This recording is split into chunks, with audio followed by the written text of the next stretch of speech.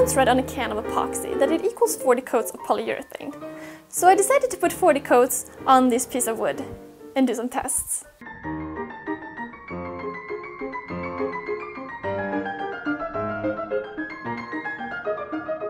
So that was 40 coats of polyurethane. Even though I didn't let it fully dry, there was about an average of 2 hours in between each coat, so that took about a week. So I didn't wait very long between the coats, nor did I sand between coats, like most people, although this was a little extreme. I started with feeling how soft it was by throwing rocks on it. Well, the rocks sure left marks. Next up, I started peeling the layers off with a chisel, the first thing that struck me here was how much like plastic this really is. Well, it is plastic. When using the chisel, it goes through the layers like butter. This completely illustrates how the layers don't meld into one like lacquer. When screwing in here, it just peels right up.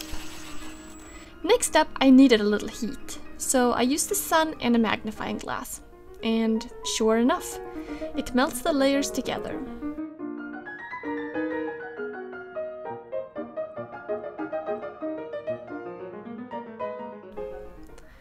Now I applied the polyurethane early in the summer and it took months to fully dry.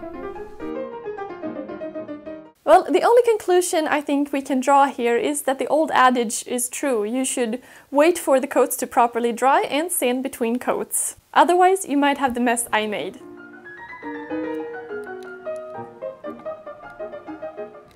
Don't forget to subscribe for weekly videos and follow me on Twitter at Darbin Orvar. Thanks for watching.